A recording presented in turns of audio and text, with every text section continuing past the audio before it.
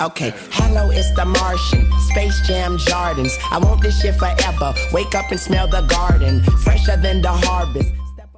Hallo und herzlich willkommen zurück hier in Fallout 4. Wir werden heute Ich uns... sag dir, was mit dem Commonwealth nicht stimmt. Ja, was denn Die Leute nicht? sehen das große Ganze nicht. Okay, Preston, klar. Also, wir werden heute äh, nach Diamond City reingehen. Und vorher werden wir aber nochmal mit der Karawanenführerin hier... Bewegung und du bist tot, Was? Ödländer. Was, was bitte zu? Munition, Waffen und schmutzigen Tod. Ich hab alles da. Ja gut, dann sag doch mal, was du hast. Komm schon, hol dir deine Waffen bei mir. Kleine oder große, ich hab sie alle. Ja, ja. Ich, äh, ja. Was, was steht zum Was Verkauf? für Sachen hast du denn? Wenn es Bleiladen spannen und ausspucken kann, verkaufe ich es. Ich habe aber auch Messer und Knüppel für die irren Nahkämpfer. Aber der heiße Tod fliegt schneller als der Schall. Ach, meine Knie werden ganz weich, wenn ich nur daran denke. Ja, dann, äh, sag mal, Klar, hast du denn? Ich schau's mir an. Einen Teil von jedem großen Kauf gebe ich für winzige Bäume aus, die ich dann zu deinen Ehren in die Luft jage. Ja. Auf gut Glück, Knarre. Nice. 2000 ist die nur wert. Uh, falls 3000. ja, also du, du hast... Ja. Ja. Ja. Ist, äh, ja, ist schon ganz schön, aber nein. Nein. Nein. So, ähm... Jetzt, bevor wir da reingehen, müssen wir uns umziehen. Obwohl, ich würde auch gerne, ähm, ähm, wie haben wir das denn? Stats, äh, hier, ähm, ne? Skills, Level Up, Charisma. Haben wir denn so für Charisma, Fähigkeit? Was haben wir denn hier? Als Anfang haben Sie zwischen den Werkzeugen... Aha, okay, ja, nein. Aha. Einschüchtern. Okay. Also wir werden erstmal, würde ich vorschlagen, ja. Ganz mal. Nochmal einen Punkt drauf tun. Jetzt möchte ich mh, gerne einen Filzhut aufsetzen und grauen Anzug aufsetzen.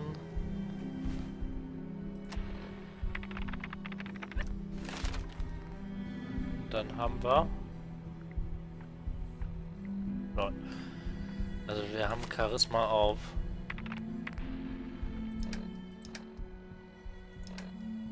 Zehn plus. ah, 10 plus ist schon gut. Mal zwei Punkte übrig. Also ich versuche mal so. Wir versuchen es mal so. Los, mach sofort das Tor auf. Hallo Piper. Oh, wir kennen uns noch gar nicht. Diese Person ist beschäftigt. Bruder, du willst doch nach Diamond City, oder? Äh, wer bist du denn? Was? Wer bist du? Psst. Spiel einfach mit. Was hast du gesagt? Du bist ein Händler aus Quincy? Und du hast genug Waren, um den ganzen Laden für einen Monat zu versorgen? Hm. Hast du das gehört, Danny? Machst du jetzt das Tor auf und lässt uns rein? Oder willst du dieser irren Mörner erzählen, dass ihr wegen dir Vorräte für einen Monat durch den Laden Mann, na gegangen sind? gut. Kein Grund, gleich so bösartig zu werden, Piper. Einen Moment. Geh besser schnell durch das Tor, bevor Danny kapiert, dass wir ihn nur verarscht haben.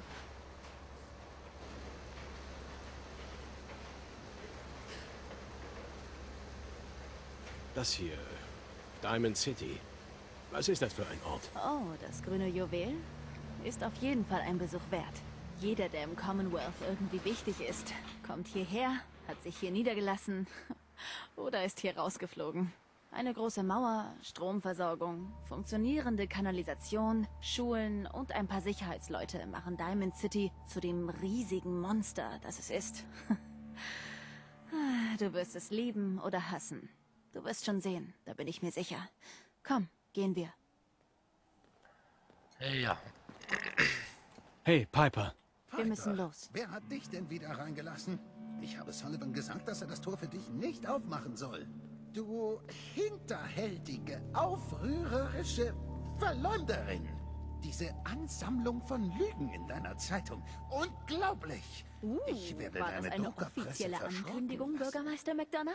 Diktatorischer Bürgermeister lässt Presse ausschalten. Warum fragen wir nicht den Neuankömmling? Was sagst du zu freier Presse? Der Bürgermeister will die Redefreiheit nämlich abschaffen.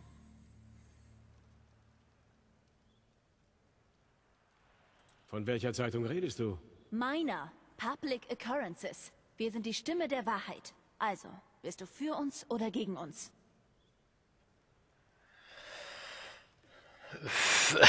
das ist immer diese nicht meine Angelegenheit. Hasse Zeitung.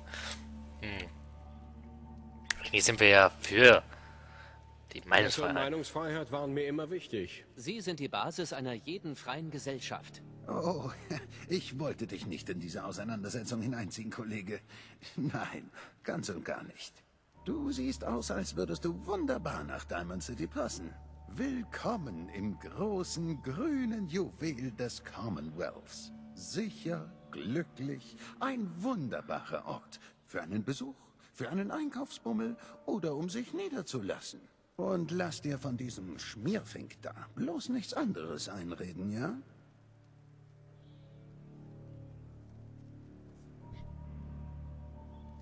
Worüber streitet ihr beiden eigentlich? Was glaubst du? Wenn man Lügen druckt, sind alle glücklich. Aber wenn man die Wahrheit druckt, Also, bist du aus einem bestimmten Grund in unserer Stadt gekommen?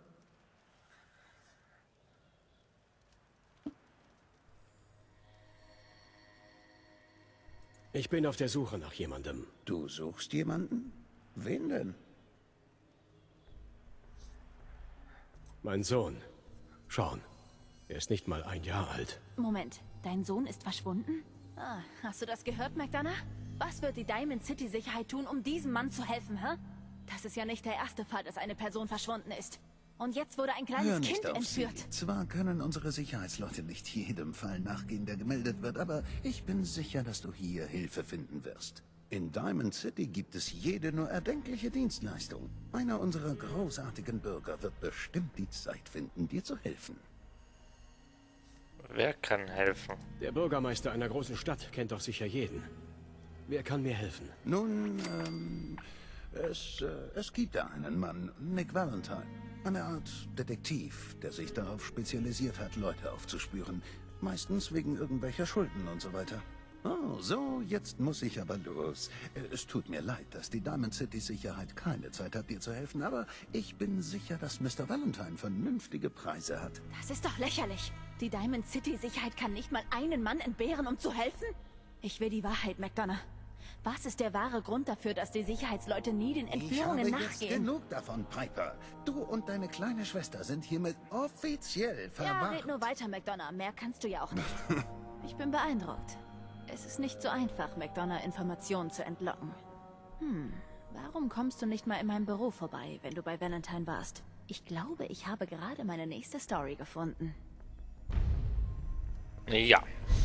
Das ist also die Piper. Wir haben eine riesige Stadt zu erkunden. Ich habe keine Ahnung, wie groß sie ist. Geh rein. Ja, ich will... Ach, was machst du denn da, Preston? Soll ich noch was Hey. sagen? Okay, wa- was hast du auf dem Herzen? Ich bin nur neugierig, was du denkst. Ich frage mich immer noch, was dieser Außenposten der Bruderschaft soll. Ich habe noch nie gehört, dass sie im Commonwealth aktiv wäre. Was denkst du, wie es so zwischen uns läuft? Es fühlt sich gut an, Leuten zu helfen, etwas zu bewirken. Das Commonwealth steht in deiner Schuld. Das ist erstmal alles. Kein Problem. Du bist also der Händler, von dem Piper gesprochen hat, ja? Irgendwie glaube ich, dass sie mich wieder reingelegt hat. Habe ich recht?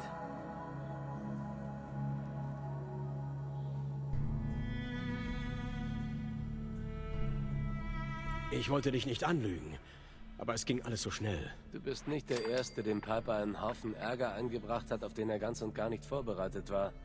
Danke, dass du ehrlich zu mir warst. Wenn's nach mir gegangen wäre, hätte ich euch beide einfach reingelassen.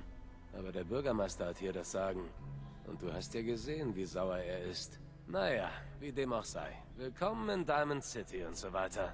Ich muss jetzt wieder an die Arbeit. Ja, okay. Ist okay. Hast du eine Frage? Dann solltest du mit Sullivan reden. Du bist Sullivan, oder? Wenn du was brauchst, musst du mit dem Bürgermeister sprechen.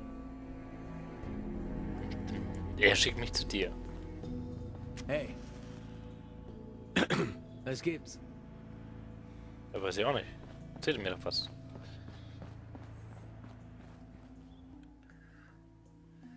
Gucken wir uns doch mal ein bisschen die Stadt an. Ich würde gerne ein Haus haben. Wie teuer das ist.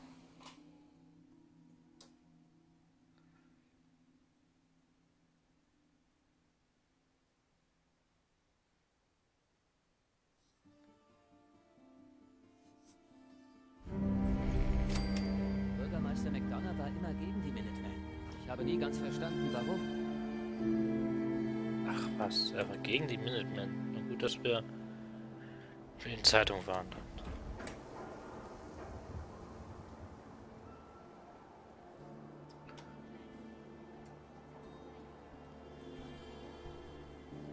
Bald den Geist aufgeben, wenn wir ihn nicht ersetzen. Ach, das sagst du schon seit Wochen. Das geht los. Mach dir nicht dauernd so viele Gedanken. Ich muss ins Büro. Ruf mich, wenn du wütende Politiker auf dem Weg zu uns siehst. Warum? Stimmt was nicht? Piper? Pepper! Pepper!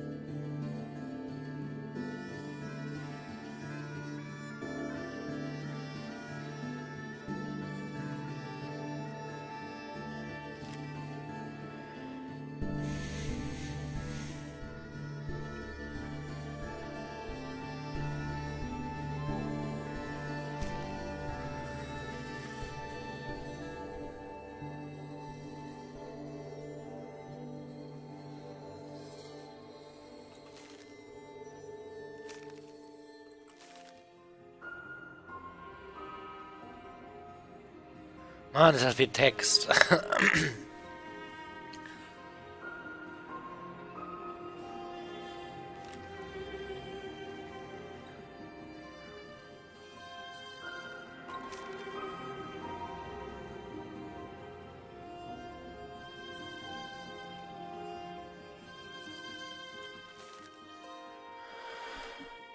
So, ich erzähle gleich, was da drin steht. Nochmal eine Kurzfassung. Wie viele Seiten sind das denn noch?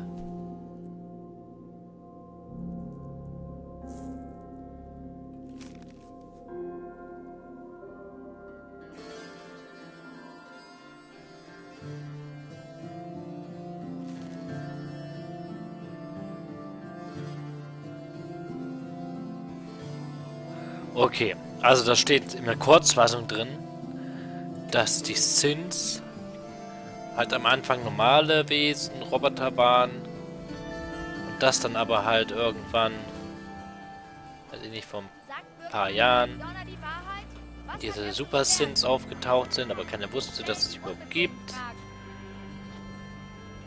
Naba wurde dann ein Mann erschossen von einem Super Sin, weil man dann, also ein ganz normaler Mensch, der gegessen hat, getrunken, geraucht hat, man hat mir das gar nicht angemerkt, dass es überhaupt einer ist und irgendwann ist er durchgedreht, weil er wahrscheinlich von irgendeinem anderen Computer gesteuert worden ist.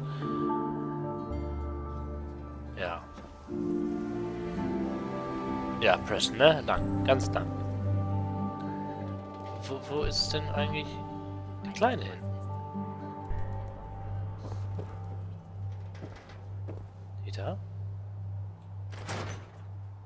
Ah ja, da kommt man rein.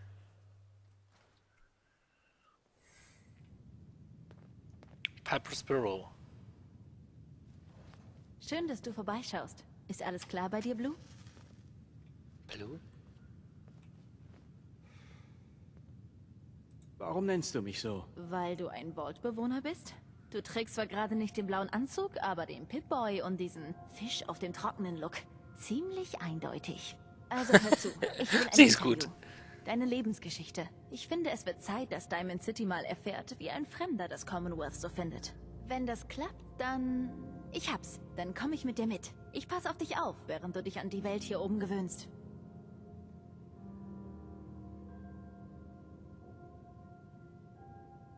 Was soll das für ein Interview werden? Ich frage dich, wer du bist, was du vom Leben hier draußen hältst und vielleicht noch ein paar knifflige Fragen, um es interessant zu halten. Was meinst du? Ja. Okay, Piper. Ich bin dabei. Gut, kommen wir zum Geschäft. Also, ich weiß, du kommst aus einem Vault. Wie würdest du deine Zeit darin beschreiben?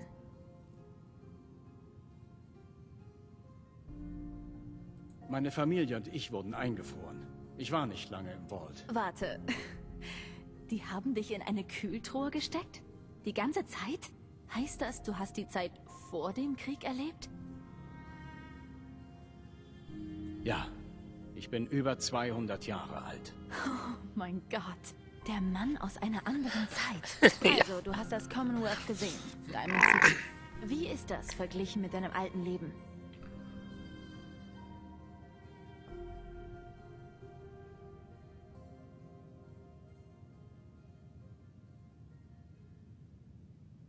Ganz ehrlich? Zu sehen, wie ihr hier draußen überlebt und alles neu aufbaut, das gibt mir Hoffnung. Das ist überraschend inspiriert, Blue. Das Zitat werde ich definitiv nehmen. Ich weiß ja bereits, dass du deinen Sohn Sean suchst. Glaubst du, das Institut steckt hinter seiner Entführung?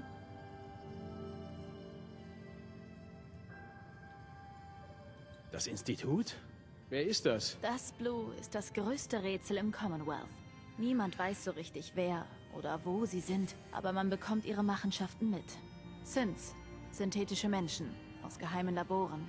Sie erledigen die Drecksarbeit für das Institut. Manchmal ersetzen sie jemanden sogar mit einem Synth-Doppelgänger. Ein verdeckter Agent, den niemand verdächtigt. Nicht alles Schlimme, das passiert, hat mit dem Institut zu tun, aber möglich ist es immer. Darum frage ich.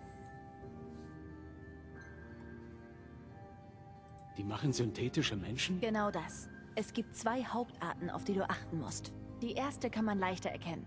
Die Haut sieht aus wie Plastik. Teilweise kann man das Skelett sehen. Sie durchstreifen plündernd und mordend das Commonwealth. Vor einer Weile habe ich über University Point berichtet. Die ganze Stadt wurde ausgelöscht. Die zweite Art der Synths ist das eigentliche Problem. Sie haben Haut, Blut, ein warmes Lächeln, schuldbewusste Blicke. Wie ganz normale Menschen. Und? Glaubst du, sie haben was mit der Sache zu tun? Das Institut oder einer seiner Agenten?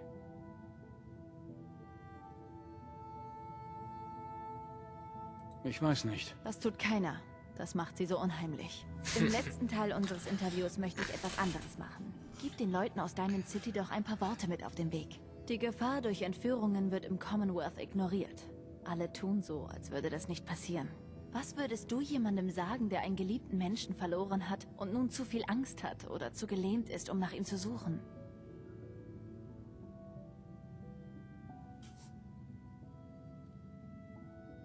Warte. Die Leute ignorieren Entführungen hier draußen einfach? Ja, Blue, noch nicht gemerkt? Man wächst im Commonwealth auf und irgendwann wird jemand entführt. Vielleicht nicht jemand, den du kennst, aber jemand. Und die Leute sagen nur, naja, hätte schlimmer kommen können, wenn Raider, Supermutanten oder wilde Ghule ihn erwischt hätten. Sie geben einfach auf.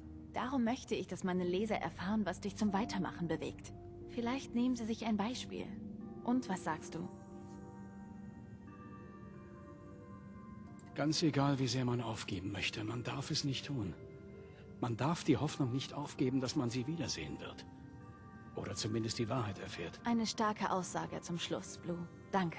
Wir sind fertig. Wird eine Weile dauern, das alles zusammenzupuzzeln, aber deine Geschichte wird den Leuten in Diamond City einiges geben, worüber sie reden können. Wie auch immer. Ich habe ja gesagt, dass ich mit dir komme. Auf dich aufpasse. Sag Bescheid, wenn du soweit bist. Ich bin gespannt, wie die Geschichte weitergeht. Die Story des Jahrhunderts. Ja, erstmal muss ich es mit Preston noch abhängen. Oh, was sieht denn hier überhaupt? Äh, hallo. Kostenlose Zeitung für Neuankömmlinge.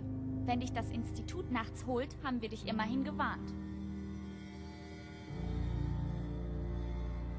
Äh, danke, schätze ich. Das ist kein Witz.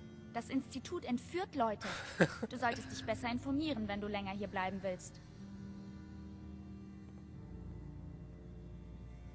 Das Institut? Du hast noch nie was vom Institut gehört, Mister? Doch. Sie holen sich nachts Leute und man hört nie wieder was von ihnen. Steht alles in der Zeitung. Solltest du besser lesen, bevor sie dich auch erwischen. Ich glaube dir ja. Danke. Du bist echt ein verlorenes Schäfchen in der Wolfshöhle, Mister. Ja. Sehr schön. Also. mich wissen, wenn ich dir irgendwie helfen kann. Ja, Piper, nicht jetzt. Was Korrektur lesen soll. Ja, sehr gut. Ich habe gehört, dass es im alten Theaterviertel eine Bar nur für Raider gibt. Das Combat Zone. Würde mich an deiner Stelle von dort fernhalten. Ja, ich würde gerne ein Haus kaufen. Kann ich denn hier ein Haus kaufen?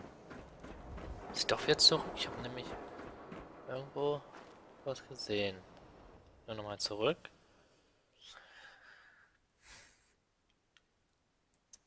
Meine, ich habe was darüber im Internet gelesen.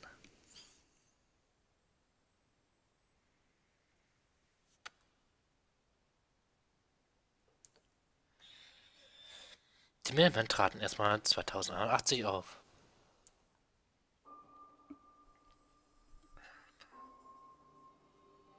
Ja, wir laden natürlich sehr viel. Das war auch mehr so eine Lade-Hörzufolge.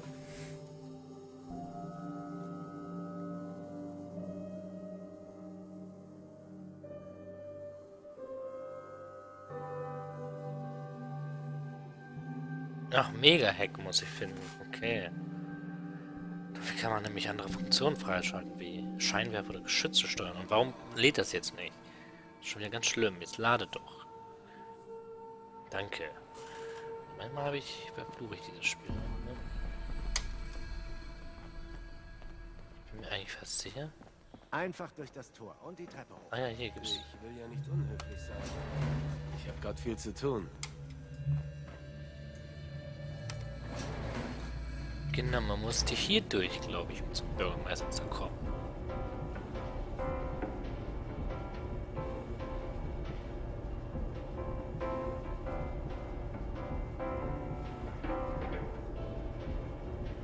Da, da, da, wir fahren mit dem Aufzug. Und es dauert doch gar nicht lang. Da, da, da. Funktioniert.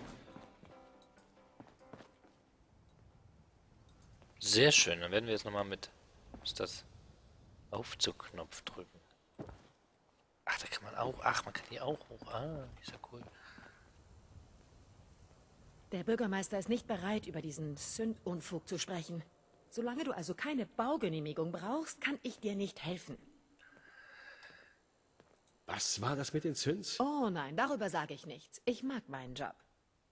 Äh, wer bist du? Und du bist... Äh... Geneva, die Sekretärin des Bürgermeisters. Ich kümmere mich ums Tagesgeschäft. Baugenehmigung? Erzähl mir mehr über diese Genehmigung. Derzeit ist nur ein Haus verfügbar. Es befindet sich im Stadtzentrum, direkt neben dem Markt. Du kannst die Räume nach Belieben gestalten. Die erforderlichen Werkzeuge für die Herstellung der Einrichtung bekommst du kostenlos gestellt. Einzelheiten? Erzähl mir etwas mehr über dieses Haus. Der vorherige Besitzer hat ein angrenzendes Lagerhaus gekauft und ein paar Wände eingerissen. Es ist also größer als die meisten anderen Häuser. Und er hat sein ganzes Werkzeug zurückgelassen. Du hast also alles, was du brauchst, um die Inneneinrichtung nach deinen Wünschen zu gestalten. Ja, das nehme ich. Ich nehme es. Hier ist der Schlüssel. Dann möchte ich dich mal als Erste im großen grünen Juwel willkommen heißen. Homeplate Schlüssel hinzugefügt. Mach keinen Blödsinn, wenn du in der Nähe des Bürgermeisters bist. Verstanden? Ja, ist okay. Was macht Preston da? Er geht hier einfach lang.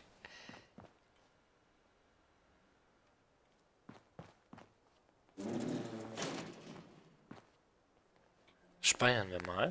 Also wir haben schon mal ein schönes Haus gekauft, das wir dann irgendwie mal nächste Folge uns angucken werden, aber jetzt werde ich mal gucken, ob ich das nicht hacken kann. Geschafft. Ja. Erkennungen.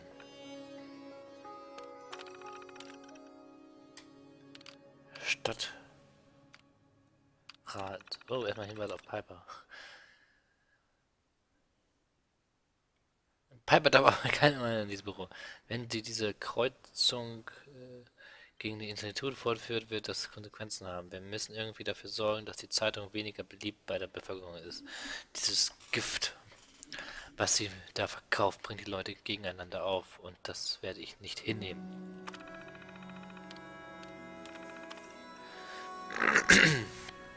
Stadtratssitzung.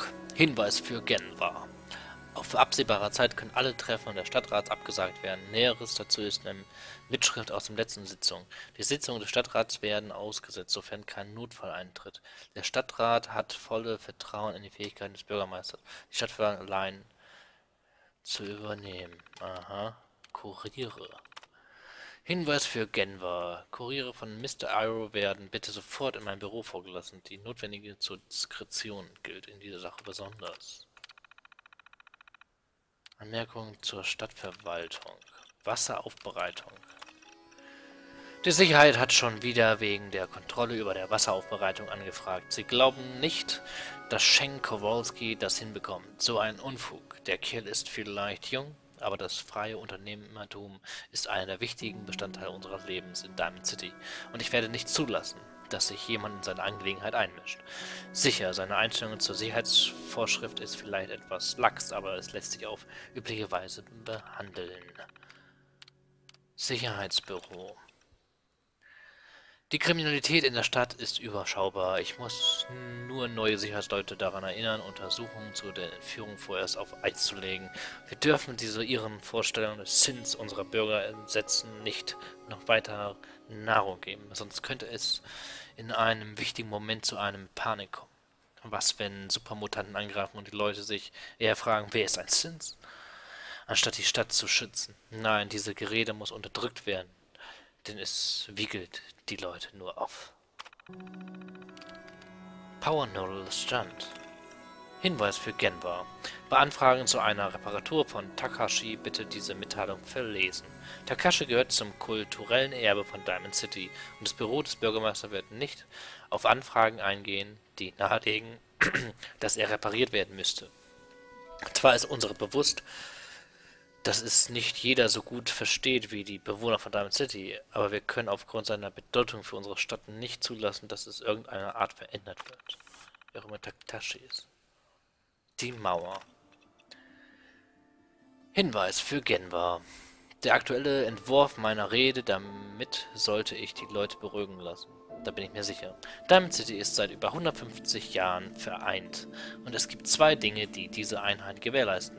Zum einen die große grüne Wächter hinter mir, die Mauer unser Beschützer und Retter, die uns von der Schmutzstadt draußen bewahrt und zum anderen unsere Glauben an unserem Vertrauen untereinander. Sie haben uns Wohlstand, Sicherheit und Bildung für jeden Bürger gebracht.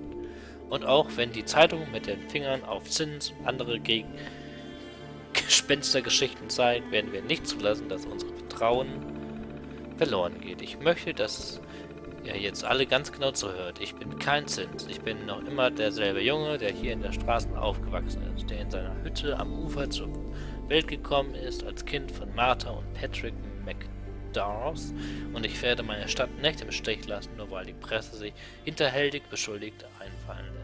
Gott schütze diese Stadt, Gott schütze die Mauer.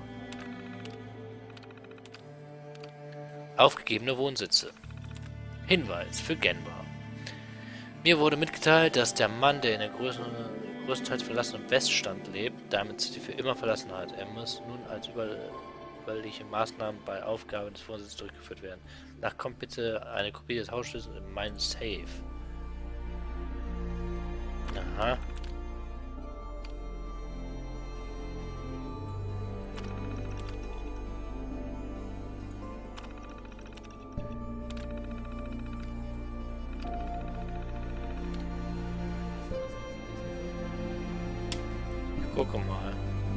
Kelloggs Hausschlüssel.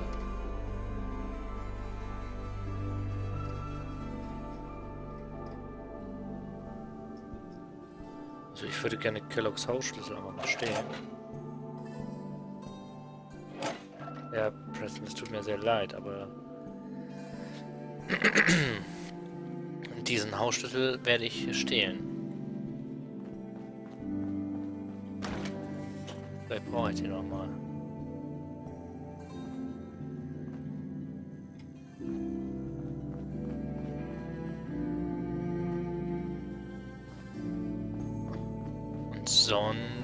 Sonst stehen wir aber nichts.